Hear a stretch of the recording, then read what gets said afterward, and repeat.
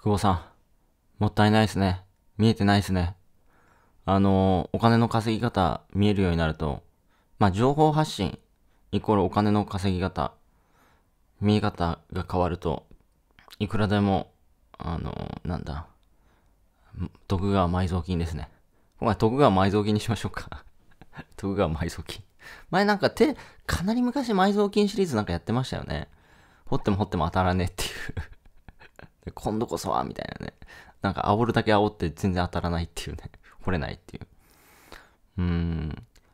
あの、目の前に答えはあるし、目の前に、あの、儲けるヒント、めちゃめちゃもう、もう答えみたいなのもあるわけですよ。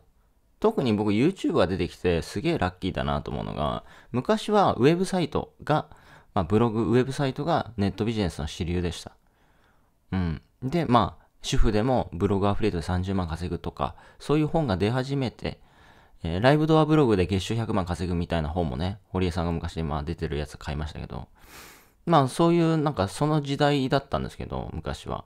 で、まあ、あとはリストマーケティングとかもちろんあったんですけど、今ね、YouTube、全部答えあるじゃないですか。カスタムサムネイルも見れるし、内容も企画も全部見れるし、再生数も見れるし、反応この動画に対してどれぐらいの反応があったのかっていうのも見れるし、そのね、動画のね、コメントをね、あの、見れば、あ、こういうニーズがあって、あ、これを、これでも反応するんだなっていうのがわかるし、だったらそのコメントにもう市場のニーズ答えがあるじゃないですか。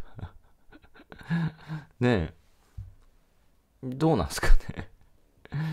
いうあのウェブサイトだったらどれだけ見たとしてもそのサイトのアクセス数だったりとかどれぐらいそのサイトが収益上げてるのかって予測できないじゃないですか。め、まあ、見えるものとするならば、Google で上位表示されてるぐらいですよね。あとはコンテンツの中がしっかり書いてるか書いてないか。うん。だけど、実際どれぐらいのアクセスがあって、っていうところだったり、お客さんの反応だったりとかはもう露骨に見えないですよね。今見えるわけですよ。だから、稼げますよね、どう考えても。だってあとそれをやるだけじゃないですか。だから見えるのにやらないっていうね。なんかよくわからない時代になりましたね。昔は見えないからできなかったのに、今は見えてもできない。いってらっしゃい。